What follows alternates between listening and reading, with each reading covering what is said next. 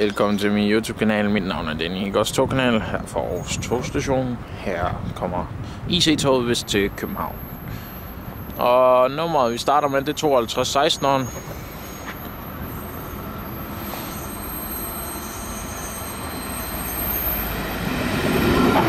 Med røde døre.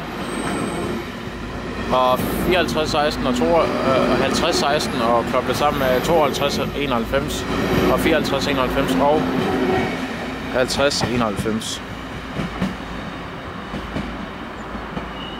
Hvis IC-tog, tror jeg vist nok det var, til København. Men øh, husk at give denne video en like, og mit navn er Danny to togkanal her fra Aarhus. Vi ses i næste video.